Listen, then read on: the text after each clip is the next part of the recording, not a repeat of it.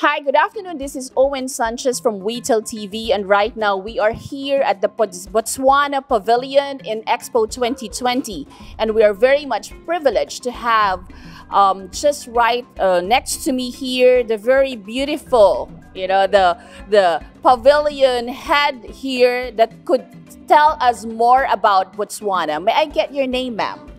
Yes, ma'am. Good afternoon. My name is Itumeleng Teseletso. I am the Pavilion Director for the Republic of Botswana Pavilion in Expo 2020 Dubai.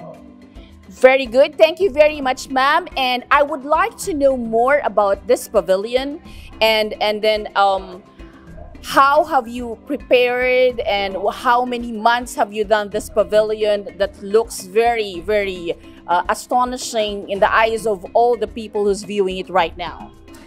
Well, our pavilion took uh, quite a bit of time to prepare, and um, from way back as when we got uh, a letter from the government of the United Arab Emirates, and our government acceding to the request for Botswana to participate, we then started preparing for this uh, participation. And uh, our brand team then started working on the look and feel of our pavilion. And it took a lot because we had to um, come up with a perfect representation of Botswana from every aspect because we had to look at uh, the different facets of our country. We had to look at the people. We had to look at our our governance. We had to look at our our our tourism. We had to look at the sectors that we want to promote. We had to look at the opportunities in our country. So we ended up with what we have, and we believe it's a perfect representation of Botswana in Dubai in Expo 2020 very nice of that. So, just recently, the president of Botswana had traveled to UAE to visit us here, and we've had this very huge investment event happened in Ritz Carlton Hotel.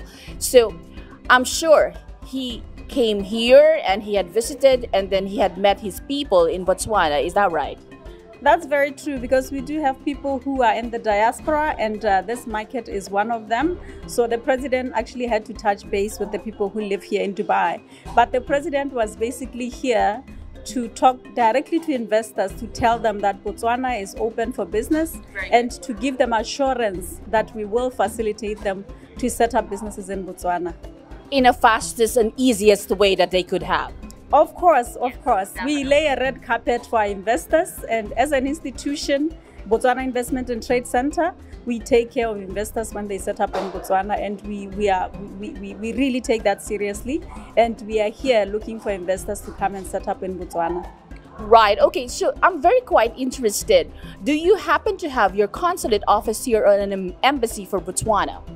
Our embassy is in Kuwait and it's looking at the Middle East. Right. Okay. So everybody who requires some kind of consular services needs to uh, go to Kuwait, or you've got an online system. How do they uh, manage these people who are currently staying here as uh, you know as living and, and working in the UAE? They obviously have an online system, so you can apply for your visa online. But if you need to physically go to the office, it's based in Kuwait. Understand. Okay, now I'm very much interested for the travel and tourism of Botswana. Can you tell us more about it? Well, Botswana has been uh, Africa's best kept secret, and we are now coming out because we cannot be a secret anymore. Okay. So, if you want to go and enjoy the serenity of the country, you must physically come to Botswana. Um, we have uh, exclusive uh, tour, tour operation sites. We also have exclusive hotels if you're one person who uh, maybe is a celebrity and don't want to be followed around by paparazzis, okay. uh, you know, reporting everything about what you're doing, Botswana is a perfect place for you to go and hide out. Wow. So we have beautiful wildlife, we have untamed wildlife, uh, we have beautiful waters, we have the World Heritage Site the Okavango Delta. Um, we invite people to come to Botswana. We also have the desert side of uh, our country, which is similar to the terrain here in the UAE. So we invite people to come to Botswana and experience that. And we do have our people who are very cultured. So we want you to come and also experience that side of Botswana. We want you to come and interact with our people. We want you to come and taste our food. We want you to come and dance with us. So we invite you to come to Botswana. Right. So you've got certain uh, festivities that you are currently um, having and celebrating it. Is it monthly, or is there something that we would be uh, interested to to come and visit to Botswana in the near future? Let's say a few months you know after that you will be expecting to have some kind of festivities we do have cultural activities which happen throughout the year um, the botswana tourism organization actually releases the activities for the year. So, um, and those are, it, it shows the dates, um, and we will be able to share that with you, you, so that when you come to Botswana, you can come and join us in some of those activities. We also have the sport tourism where we have the, you know, the 1000 desert race.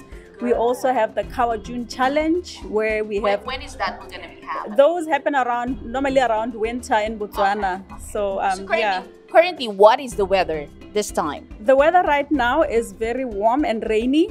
Uh, yes, yes, it's warm and rainy. Uh, and towards the end of April, it's going to get cooler. And we'll be getting uh, ready to go into our winter uh, around uh, June, May, June. Okay, so what is there any direct flight from UAE going to Botswana?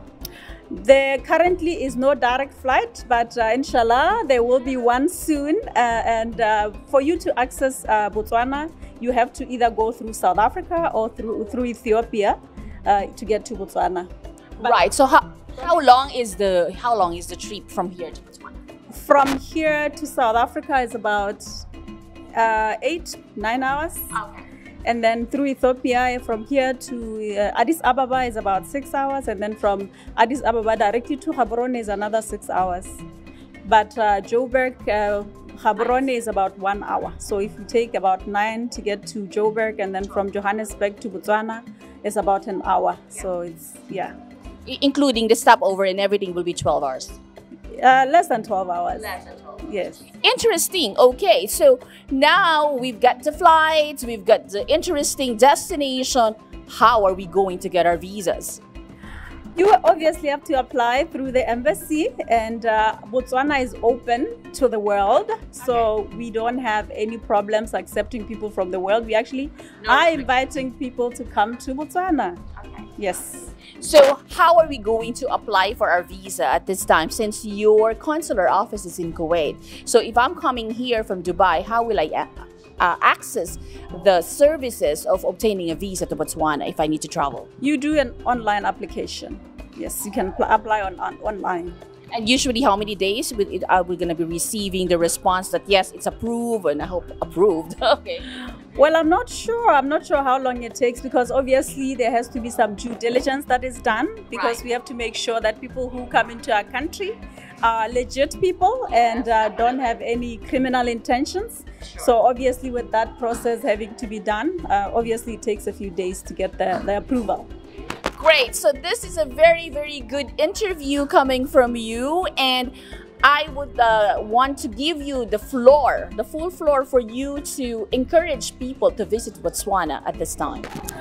Uh, Botswana is a perfect place to visit. Uh, it's one of the most peaceful countries in the world, and uh, it's strate strategically located in the epicenter of SADC. Right. So it's easy to traverse the terrains in Botswana.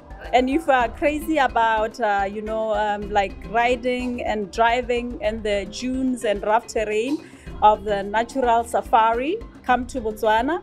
If you are interested in walking on a flat, uh, salty surface, Makgadikgadi uh, salt pans are a place for you to go. If you are interested to uh, play on the sand dunes, come to Botswana.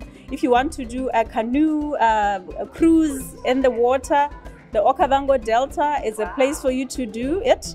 And if you want to fly over the Delta, um, the Maun area are also a, a, good place for you to fly over the Delta.